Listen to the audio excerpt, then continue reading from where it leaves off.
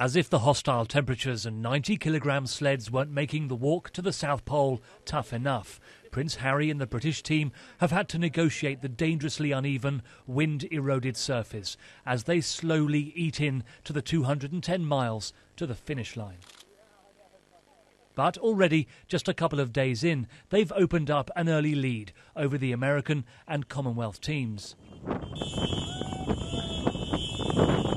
Arriving at the start line last week, before setting off, the Apache co pilot gunner had time to make a quick call to the Row to Recovery Team, which includes injured service personnel currently in the Canary Islands preparing to row the Atlantic to raise money for Help for Heroes. We are at 87 degrees, uh, 17, I think it is, and uh, we've had a few setbacks. When did you start? Uh, we're due to start on Monday um, to row 3,000 miles, which is a little bit further than your walk.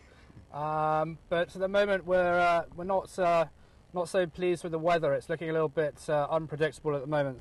Yeah, but rowing 3,000 miles is a hell of a lot easier than walking 300 kilometres, by the way. I'd say, yeah, but especially if you've got a broken toe, I can imagine that's true. I'm not even allowed to mention my broken toe next to people like Disney missing one leg. Both expeditions are supported by funds from the Prince's Foundation.